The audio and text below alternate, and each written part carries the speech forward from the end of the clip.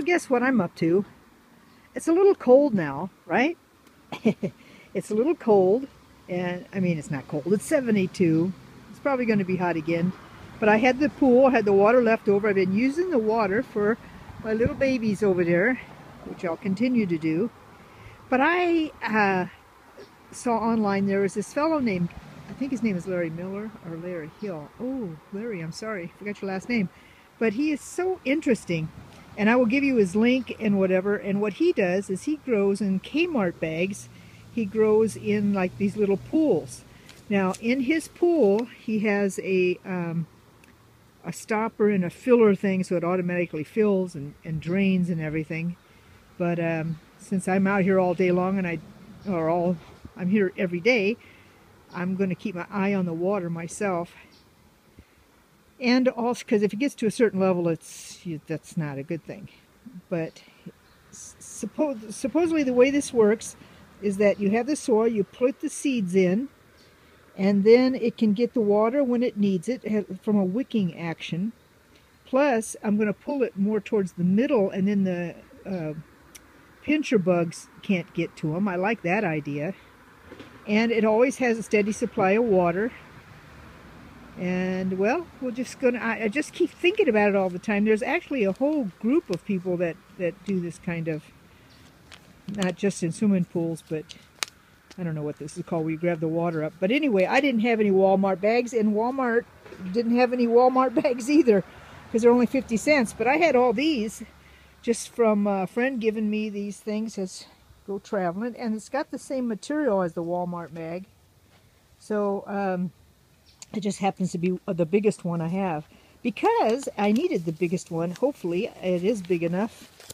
And by the way, I just put that in there Miracle-Gro moisture because that's all I have. I don't have a lot of other additives. All I have is fish fertilizer and I just can't get anything else right now. So we're just going to have to hope that it works. I'm going to put cabbage. Cabbage Garden Leader Green Monster Cabbage. Giant. And I want to see if I can grow a giant cabbage in there. So I've taken care of two things, bugs that can get at it from the ground because it's surrounded by a moat. The only thing now left is the um, white, the cat, uh, the cat, what, cabbage caterpillar or something it's called. But I could always put a top over it, you know, using some cheesecloth or whatever that stuff is. I just don't have the right words ever. But anyway, you know what I'm talking about. I can put a cover over if I once I see that that becomes any kind of problem. But I'm, I'm liking this idea. And what the heck? The only other thing I have is this. I'm going to have a lot of those uh, little sea. I don't want to get over that pool. It makes me nervous with my iPhone. But I'm going to uh, have a lot of things from the tree drop in there. But that's not the worst. I, you know, that's easy enough.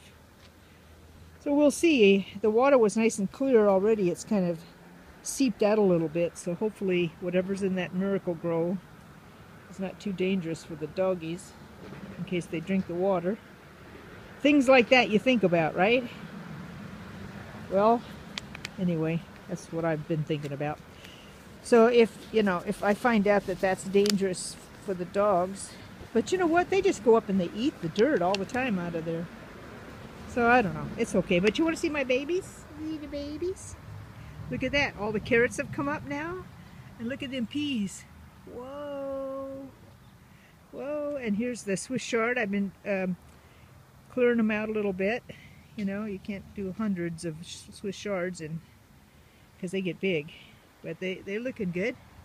And this is the beets. The beets have come up. And over here, I haven't done anything else with that yet. I'm still thinking about this plant. I, I just about come to taking it out all the time, but I just can't. And there's another run over there. So we'll see.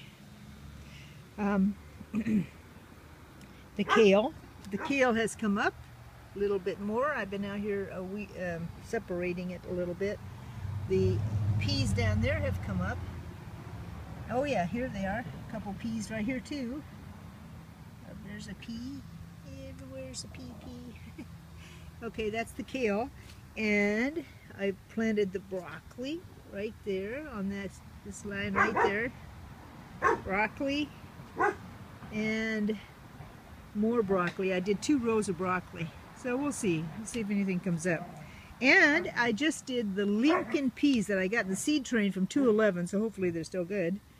Right along here, Lincoln peas, but I, I didn't have enough, so I only went to right there with the Lincoln peas.